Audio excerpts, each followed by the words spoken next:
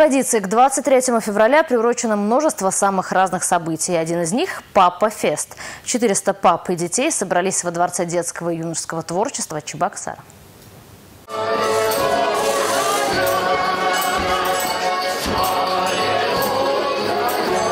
Вани Павлова очень ответственная миссия. Играть на бубне, когда тебе всего пять лет, совсем непросто. Уверенности придает то, что рядом папа. Мы чуть-чуть играем на чувашских музыкальных инструментах. Он меня всегда поддерживает. Дает Ваня. Он играет на бубне, на барабане, ну, на шумовых инструментах. А я, в свою очередь, играю на гармошке. Вот такие живем с музыкой. На фестивале «Папа Фест» можно было попробовать себя в разных жанрах и видах. Папы-артисты учили ребят играть на музыкальных инструментах. Папы-художники проводили мастер-класс по рисованию. На творческой площадке умелые ручки учили выжигать, делать кормушки для птиц.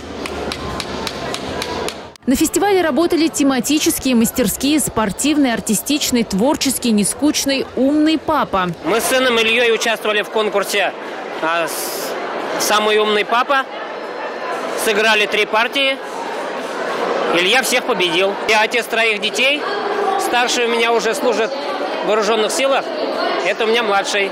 Папа Фест – это не только возможность прекрасно провести время, но и хороший способ напомнить, как важны для детей отцовское внимание и поддержка. Проведение таких праздников в Чувашии становится уже доброй традицией. Татьяна Трофимова, Олеся Русакова, Игорь Зверев, Республика.